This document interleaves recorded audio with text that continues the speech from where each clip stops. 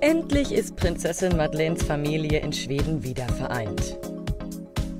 Nachdem die Tochter von König Karl Gustav schon gemeinsam mit ihren Kindern Prinzessin Leonore und Prinzessin Adrienne am 14. Juni in Schweden ankam, durfte Sohn Prinz Nicholas wegen einer Erkrankung erst einige Tage später mit seinem Vater Chris O'Neill anreisen. Madeleine und Chris haben jedoch sichergestellt, dass der kleine Prinz auch voll auf seine Kosten kommt. Am 21. Juni besuchten sie zu dritt das Herzogtum Ångermanland, dem Nikolas symbolisch als Herzog vorsteht.